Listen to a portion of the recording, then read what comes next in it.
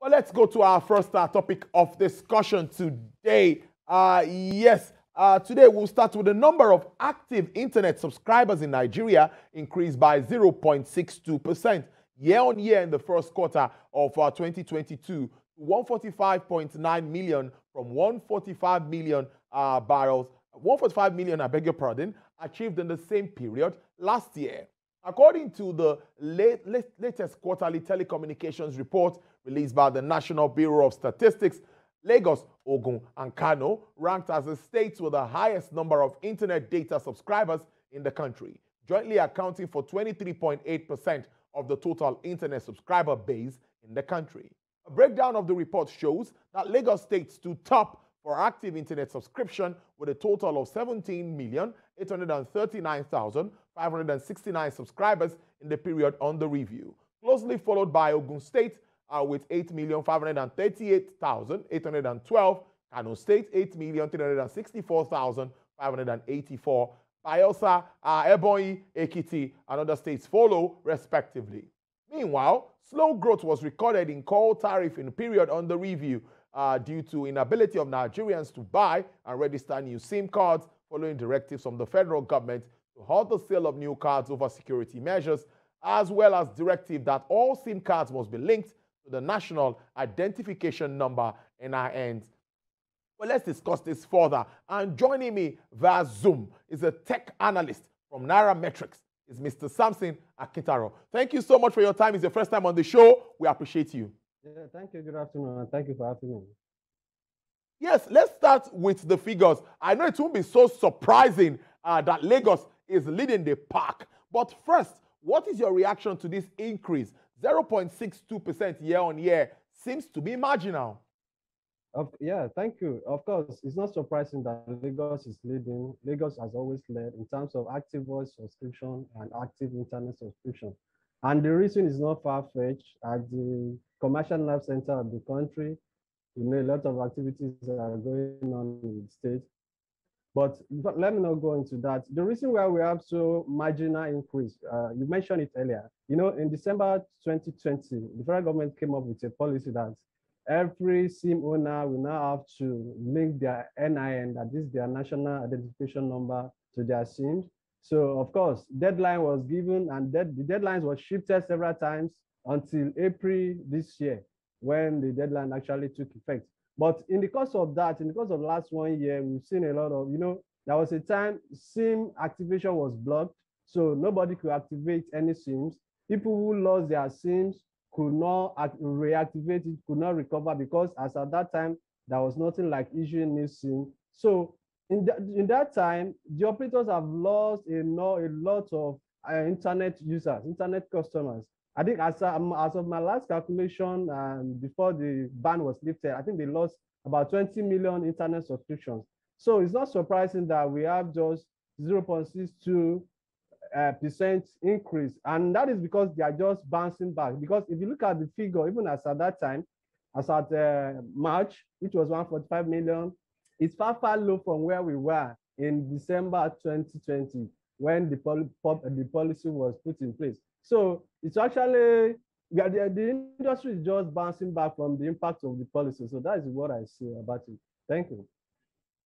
Mm, great stuff there. But uh, let's now look at service providers who are also uh, highly involved in this. Uh, they've complained about issues in recent times, operational costs, price of diesels, and all of that. Uh, how do you see this affecting their business? Let's talk around that too.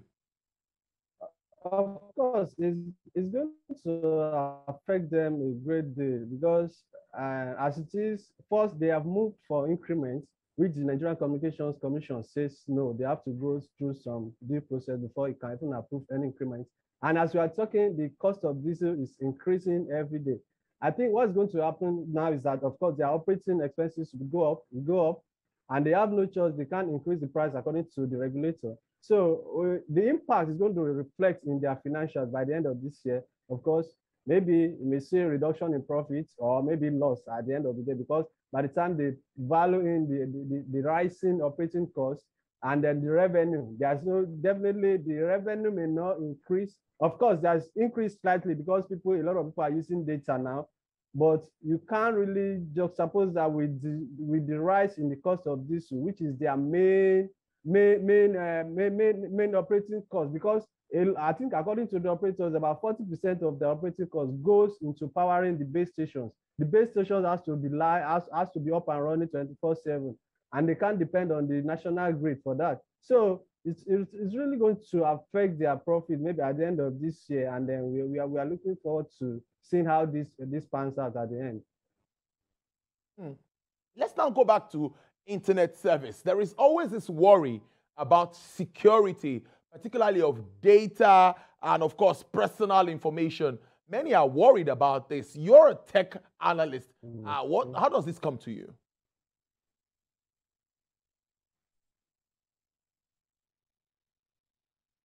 You mean about data data privacy, right? Hello. Yes. Yes, please. Hello. Yes, yeah, please go I, ahead. I think data data security is an issue all over the world. And in some, even in developed countries, we've seen countries sanctioning all these tech giants for breach of data privacy. So even though in Nigeria we have the GDPR, which is the no, sorry, what we have in Nigeria is the National Data Protection Regulation (NDPR), so which which was fashioned after the European GDPR. But we've not seen much of uh, sanctions. We've not seen, and then and I think what, what what's really happening is that even the if, if they are going to apply sanctions, the, the government is also culpable in some areas because the government handles has access to a lot of data. We're talking about the NIN linking in with your SIM. So a lot of the data are even with the government, but we're not really have uh, uh, enforcement of data data privacy. So we can't really say there's really protection for the Nigerians' data currently. So of course, people have the, the concern will always be there. Even though in countries where there is law, there are concerns about their data. People are still breaching data privacy. So in Nigeria, in Nigeria, where we've not seen much of a, though even though what we have is a regulation and which is not law, we've not seen much of a execution of that regulation. So of course, the, the, the, issue of data data privacy will always come up. Mm, it would always come up. Now, I also want to go to during COVID, we saw that small businesses and or even big businesses took advantage of the internet, of course, yeah. uh, to make their businesses known, you know, to another way of advertising. Uh, yeah. But I want to ask you, do you think we are doing enough to take advantage of that space to sell our goods, to advertise uh, what we do, goods and services, one way or the other in this part of the world. Are we doing enough? Yes and no. Yes, because we are not where we used to be. Of course, as you mentioned, the COVID 19 has opened a lot of people's eyes to the potentials of the internet. So today, people can, I think before before now, before COVID 19, if we are to have a conversation like this, probably I will have to come to your studio. Uh, but COVID-19 has made us re re realize that, of course, we can do this anywhere. You can do this thing from anywhere. So likewise, businesses, a lot of businesses are leveraging the internet to promote. We have everybody is like a seller today, especially if you see guys, their WhatsApp, their WhatsApp uh, status has become their market. They use it to post a lot of things so gradually, I think Nigerians are realizing the potentials of the internet and people are making use of it.